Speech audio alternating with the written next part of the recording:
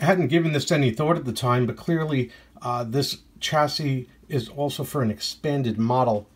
We can see that the plate here on the right side, the one that's covered with flowers and crap, is uh, has provisions for other screws. So there was a another board here or a much larger board that went into this. Uh, for what I don't know, I'm not a big aficionado of early to mid 70s Zenith radios, but I wanted to point that out because I, I just never noticed that. Naturally, I know where to find all of the screws and the supporting brackets because once I took them off, I put them right back where I found them. It's a trick I learned a long time ago to save me a lot of grief. Also, um, take a good shot of this, uh, uh, a picture, even though I have it as a printout, because I don't 100% trust the printouts, it's good to have the picture that came with the radio. I'll snap a photo. Get all the inner workings in first, and we'll do the speaker separately. And then I will solder the uh, wired connections that were severed, uh, or that I had severed to disconnect the speaker from it. That way I don't risk damaging the speaker during the installation. Also, this piece of flashing here goes over the selector switch uh, to black that out when it goes into the unit. That needs to be reinstalled too. That will go over here in such a way as it won't fall out when I reinstall it after I give it a cleaning.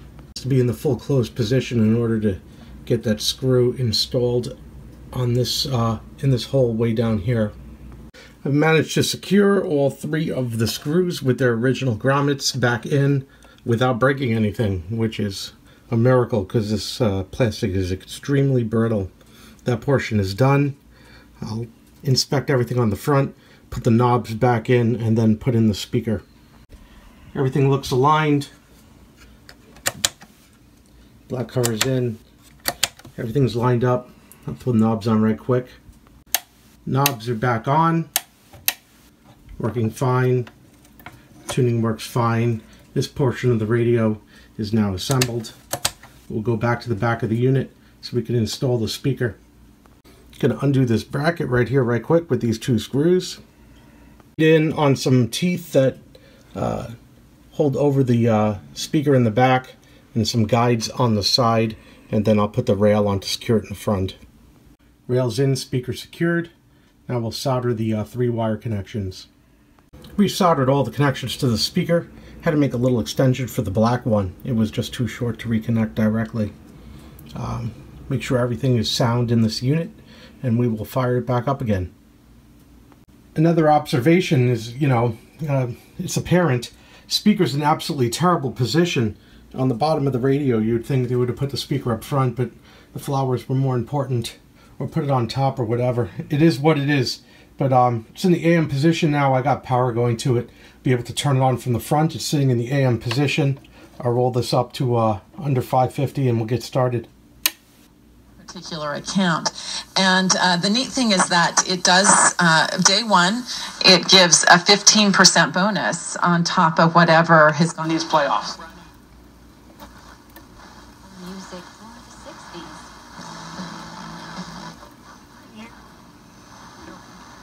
That uh, are up and coming, and uh, I tell you, Wesley. We're looking for Gina.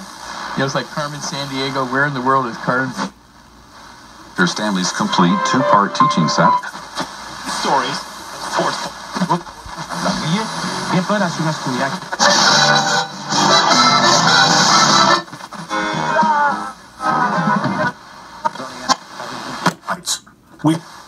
questions about a drug, a product, or a class action consumer issue that sounds for really nice. will act as a place. I mean, it sounds really clear. Remember, Uh, I don't have the equipment to uh, calibrate FM. I do have the equipment to calibrate AM. I'm going to have to listen to this during the nighttime to see how strong the AM really is.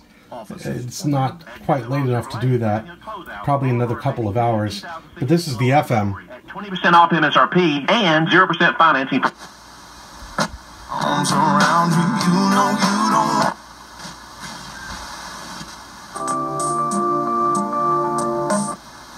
Before making their way downtown tonight, mostly drive through Saturday. I should point out that the FM antenna is not even connected. It's still sitting on the shelf. Along and east of I-4, Three bonus months. So this is running without the antenna. So there you go. So it's assembled. We could work on um, the AM uh, uh, calibration and adding the uh, FM antenna once the unit can be closed up. I've turned on the RF signal generator. I'm going to let this thing cook for a while so it stabilizes. Adding to the mix will be the IM11, which also takes a bit of time to stabilize as it heats up. This will be used for the calibration of the AM as a monitoring device. We know the first portion of this procedure is going to be um, the 455, the IF frequency. Uh, it says it requires a modulated signal of 400 hertz at 30% modulation. It's going to use whatever this is going to provide, which is around that. Um, set the uh, dial to 600 kilohertz. I have done so. Should probably set that to AM. And these are going to be our three adjusting slugs, and we're adjusting for maximum 206, 207, and 208 and going around back and forth over and over again until we get it right. A standard procedure. The tie point is test point I, and that is the uh, CIE, the open air capacitor. The other side is ground, and that's what this will be connected to. I'd hook it up to the oscilloscope first just to see where it was at. And I set this up before I hooked up the oscilloscope. I wanted to know how close I would get it. Turns out 456.5 kilohertz. Looking for 455 so that's almost on the money. While the scope is there I'll, I'll, I'll bring it in but yeah wow. Not bad at all. You know especially for for uh, tube equipment. You know this was just restored obviously but yeah, that is a nice looking modulated waveform too I brought it a hair down of 455.1 we're going to go with that. I'm not going to be too picky. I just wanted to see how close I could get it, and while I was there, I adjusted it. We're going to turn on the radio. We're just going to check to see if we can hear that tone. It should be coming through. Just fire this up right quick.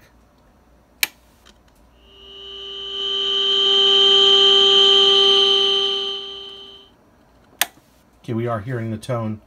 So, very good. I'll find a comfortable position. Probably overdriving this thing maybe attenuate it. I'll take a look and then and then we'll start the calibration procedure. So 206 is this big coil uh, right here, the big uh, metal one that's all the way on the left, uh, almost against the wall there on the second row. 207 is the white one above the orange one in the middle. And 208 is off to the right, it's the black one just above the pink one. And those are the three, all on the second level, in support of the AM adjustments. Got a comfortable volume setup right now. We can see a level showing on the VTVM. And now I'm going to start adjusting the slugs uh, to get this to a maximum deflection. With the white one right now, we can see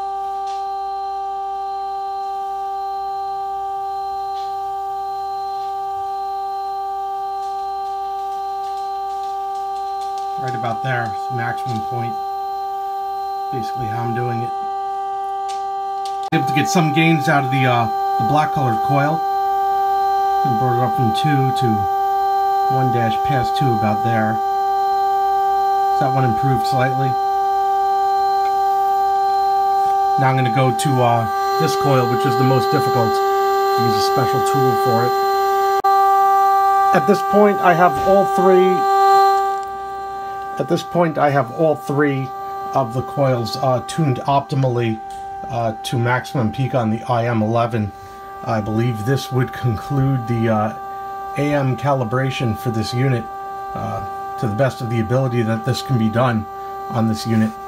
Uh, FM, not really much I could do. I don't have equipment and uh, sweep generators and whatnot to do FM. So FM is going to be what it is.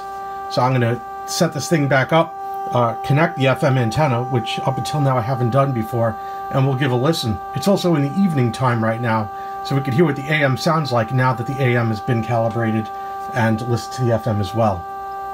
I was able to reconnect these connections way down here, which is not as easy as I thought. But that's the antenna connections uh, for the unit in the back. Um, F and G think of it what you will but those are that's the ground and something else so That's the FM antenna in the ground. That's what it is. So that's the uh, the connections there. Cover's back on and nothing's broken. It's an absolute miracle. The leaf screw here uh, holds the cable into position coming out of there, so we can now connect the antenna screw. The antenna is reconnected and the assembly is now finished. Let's test out the radio. Radio is booming now. Uh, number one on the AM side because of the uh, adjustments that were done on the IF and the FM side because it has an antenna. I'll do a very quick scan through the AM now. Well, isn't just based on that. .com or call 1-800-MARINE. adolescente. Yo creo que es lo. You can hear a lot of different stations mixed in as well. Sueño con que sea persona. He said, uh, you sure? Yeah, I'm sure. I'm sure. Open mic with Mike Bianchi.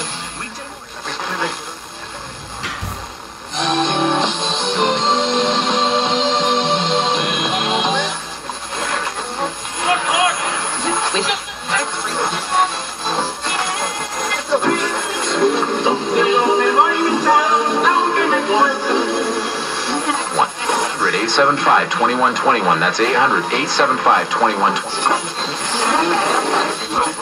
Just so many stations on there in between. Hablemos del tenis, porque la tenista estadounidense Serena Williams.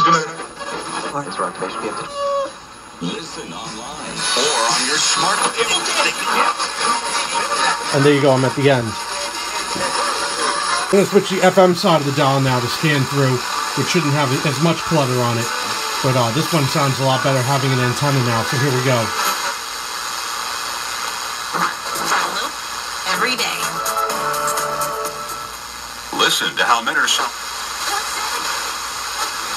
And the world. Stop dreaming. Start flying. You fancy. It's my little hold.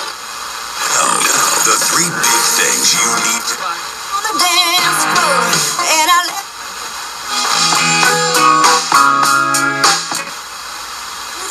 Hijos. Vive más. Imagínate todo lo que podrías lograr al aprender.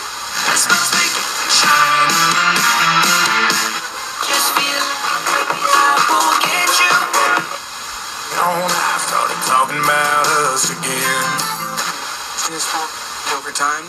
Just wondering, should my undershirt be uh, the best place to find another? You must be with all the that's up. Tired sometimes. Pieces of peace in sun's peace of mind.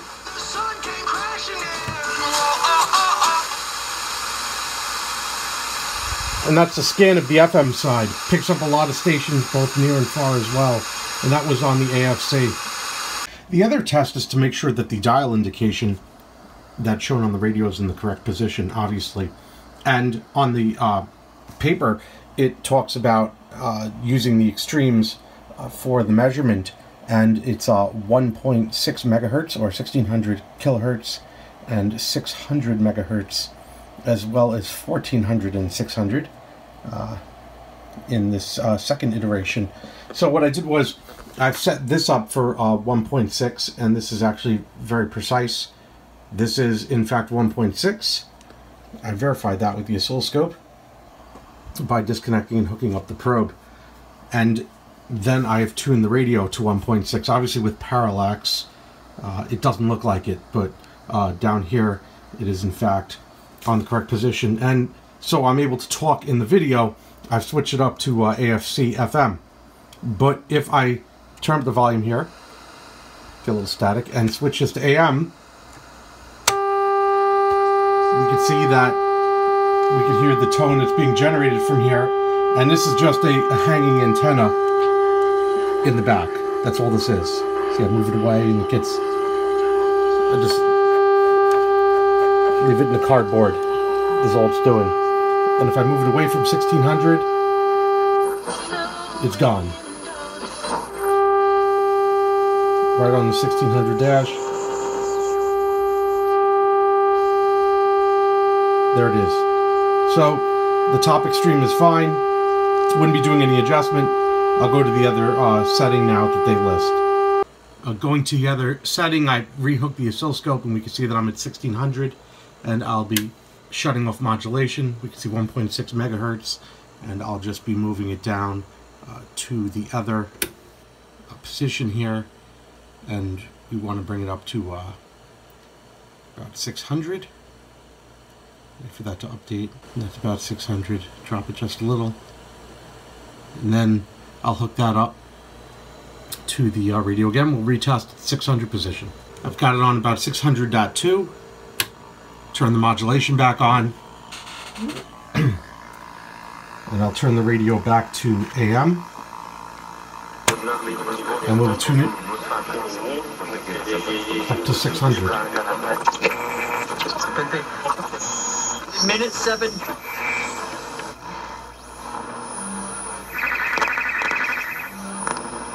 Now I need to connect the antenna to the back of the radio. I'll switch back to AM now and we'll hear the uh, waveform come through. You can see exactly where it's the strongest.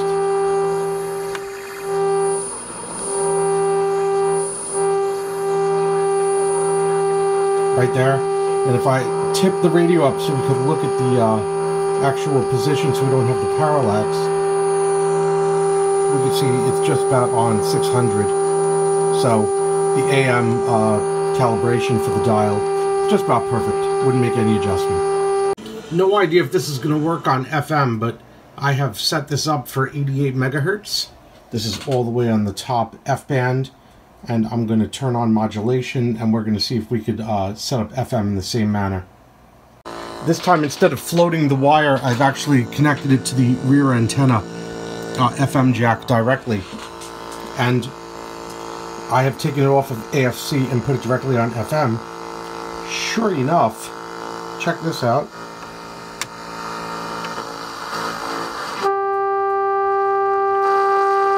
Right on 88 megahertz, there it is. So there you go. Bottom band to FM, calibrated. We'll look at the top of the band. We're right at about what the limitations of this RF signal generator can do, uh, but it still does it well. Uh, in previous videos, uh, documents a lot of work that was done with this RF signal generator to uh, get a nice frequency response at all of the ranges. Now very dynamic. Uh, what we're seeing here, however, right now is due to the fact that we're working with such an extremely high frequency with no shielding here. You know, this is obviously unacceptable uh, type of coupling uh, for something at 107 megahertz. And, and, and we're seeing a, superimposed, if you were to take a picture and look at this, we're seeing superimposed a 60 hertz uh, um, modulation over this as um, power coming through uh, different appliances. This has already been checked, that's how I know this. And otherwise, it's very clean for what it is. Uh, getting back to it, uh, I'm going to take this 108 now and hook it back up to this antenna, and we're going to check the top of this FM band. Sure enough, uh, as expected, we hear a nice clean tone right here. Lift the radio up, 108 megahertz. Uh, this is uh, this is pretty conclusive that everything here is perfectly calibrated. We're not going to make any more adjustments. Also, this has uh, proved to run uh, very nicely for this test, for uh, all the tests on this, both AM and FM, even though this wasn't very helpful for any FM calibration, which wasn't done. But yeah, very happy with that. Uh, that's it for any calibration that's going to be done on this unit. Now it's time to box it back up and give it back. This radio is finished. Original styrofoam is now back in place. This concludes the unboxing, subsequent repair, and reboxing of this Zenith solid state radio. Thank you very much for watching.